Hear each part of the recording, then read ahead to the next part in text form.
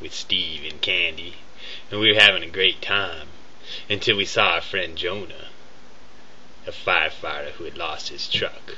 I said, "Don't worry, Jonah. I'll keep an eye out for your truck." And just then I spotted it. I said, "Hey, that's Jonah's truck." He said, "Yeah? So what?" I said, "Jonah needs his truck. He needs it." He said, "Yeah? What are you going to do about it?" And right then he whistled and he called his evil twin brother. I knew just what to do.